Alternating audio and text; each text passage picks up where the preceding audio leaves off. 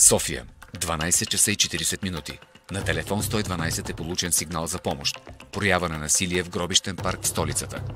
Главен полицай Евгений Василев и главен полицай Радостина Сенов поемат сигнала и се отправят към локацията, която въпреки дългогодишната им практика не звучи като място, на което може да бъде нарушаван обществения ред. 160 ти повтори. Кой упражнява насилие в гробищния парк? Найси, по данни на свидетеля Марин Сребрев, служител в парка, между две вдовици е започнало пререкание, което постепенно е пренаснало в на удари. Сватата продължава в момента край. Знаем ли повода за происшествието? За момента мотивът е неясен. Извършете проверка на място и изяснете ситуацията край.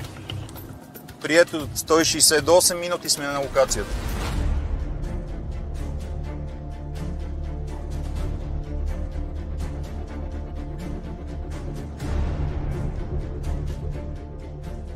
Пристигането си на мястото, полицая Сенов и полицай Василев не забелязват нищо необичайно, но по-подробният оглед на гробищния парк отвежда двамата патрулиращи до неприятна сцена. Какво правиш ти? Коя си? Какво правиш на гроба на мъжа ми? Коя си ти? Коя си ти? Коя си ти? Коя си ти? Ти си луда! Какво правиш на гроба на мъжа ми? Чакай, чакай, спокойно. Коя си ти? Коя си ти? Спокойно, тук сме спокойно. Успокойте се.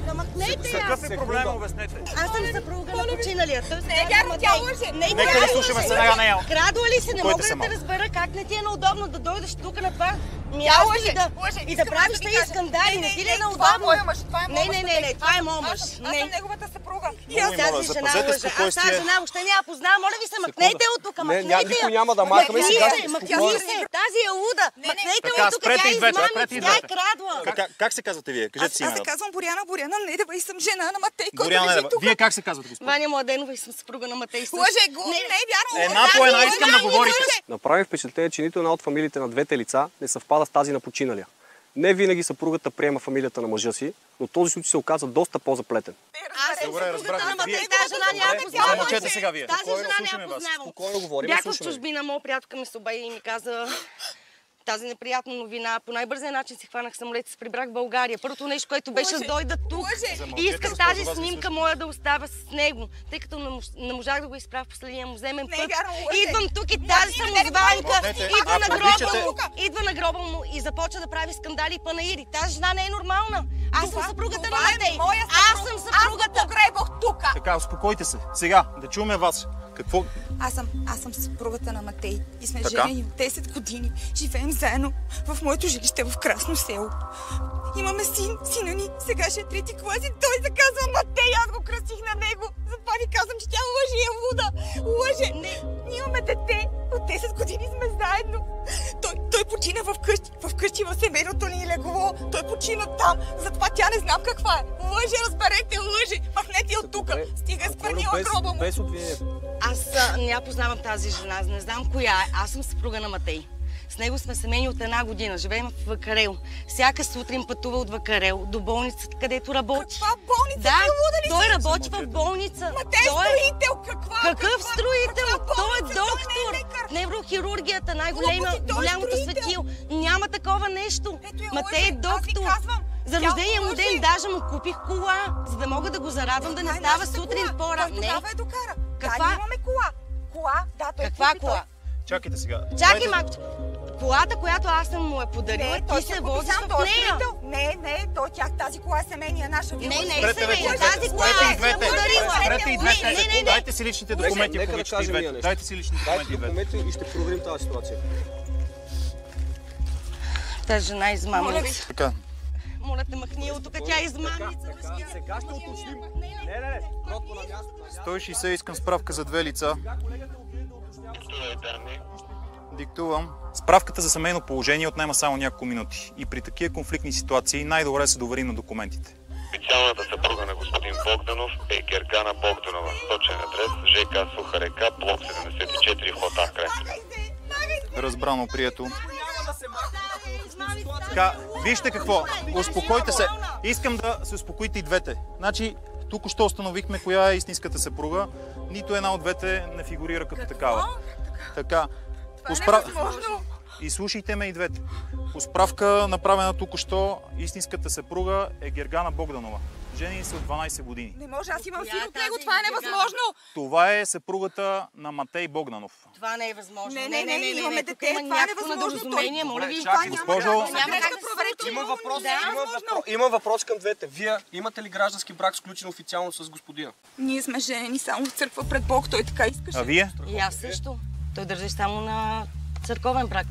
На граждански не. Женени сме само пред Бога, той така искаше. Дори си купихме след това и сундук. Казвам ви, официалната справка показва това, което ви казах. На база на събраните факти до момента можем да съдим, че става въпрос за лице, което е водило няколко паралелни живота. Интересно ми е какво знае официалната съпруга за ситуацията и защо не е тук да почете паметта му. И. Съжалявам, че трябваше да научите истината по този начин, но фактите са такива и ще трябва да ги приемете. Явно сте били Това жертва на не се измама. приема. Това не е Няма реално. как. Това не може да е истина. Просто. Беше невероятен човек и не би ми Не. го причинил. Госпожо Недева, госпожо. Моденова, а, ние трябва да навестим официалната съпруга на господин Богданов. Така че надявам се при вас са изяснени нещата, да няма проблеми и да не се налага да се връщаме отново. Съжалявам за това, което Извинявам разбрах. се. Извиняваме се.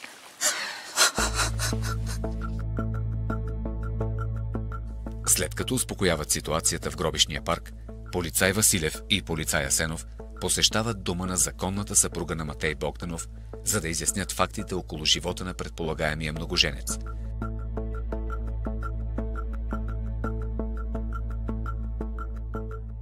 Още с пристигането си, двамата патрулиращи забелязват интересен факт. Никъде на адреса няма некролог на починалия. Това трябва да е апартамента, нали?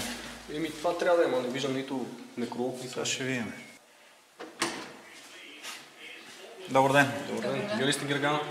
Да, Главен полицай Василев, главен полицай Асенов, трябва да поговоря с вас. заповядайте.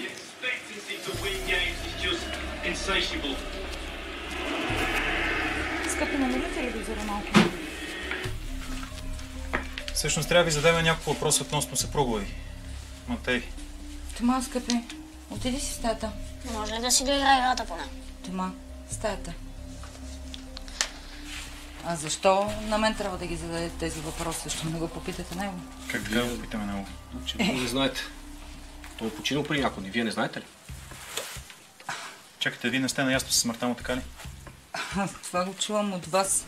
И дори не знам как да реагирам. Аз този човек не съм го чувала от години. От години.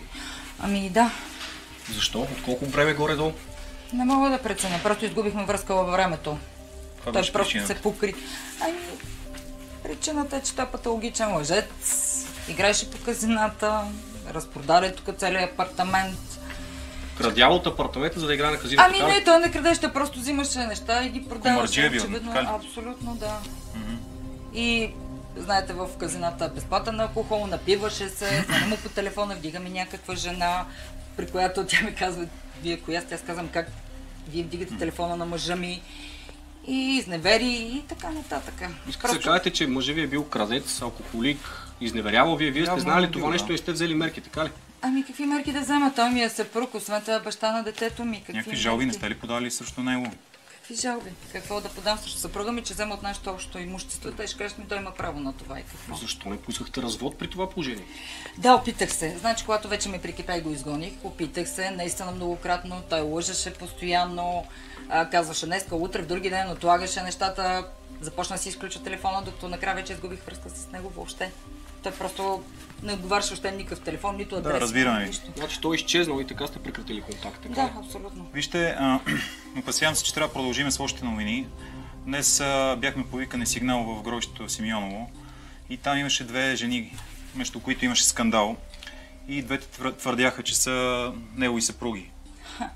Това, за съжаление, изобщо не ме очудва. Както казах, той беше патологичен лъжец. Най-вероятно ги е заблуждава и двете, както мене ме лъжеше постоянно. Получихме още едно потвърждение, че Матей Богданов, заради който двете жени бяха изпаднали в пререкание, е бил ловък мошенник. Очевидно е, че няма как да бъде подведен под отговорност, но този случай може да послужи за това гражданите да бъдат по-внимателни. Трябва да имате предвид, че едната жена твърдеше, че има и дори дете от този господин. Следователно може да предяви някакви претенции спрямо наследството. Да предяви претенции към кое? Към тостера, който, е, който го е продал или телевизора? Тя не може да има претенции. Апартамента на родителите ми. Слава Богу, все още на тях се води. В такъв случай това е което може да ви кажем ние като информация. Съжаляваме за лошите новини, че ние бяхме вестителът. Съжалявам. Еми, госпожо, всичко хубаво, ако имате някаква нужда от съдействие от наша страна, Благодаря за което. довиждане. Всичко добро. Фактът, че госпожа Богданова изобщо не беше запозната с ситуацията, говори сам по себе си какъв човек е бил нейният съпруг. От тук насетне е важно тя да запази хладнокръвие и да се покри за нейните интереси, както и тези на детето й. Двете измамени съпруги предявяват претенции към движимото и недвижимото имущество, което са подарили или приписали на Матей Богданов. Тъй като не желаят да се възползват от имуществото на Матей, законните му наследници Гергана и Тома правят категоричен отказ от своя дял. Към момента не съществува официална забрана за сключване на църковен брак преди гражданския. И този факт може да доведе до потенциална злоупотреба. Ако станете свидетел на подобно нарушение, моля подайте сигнал на телефон 112.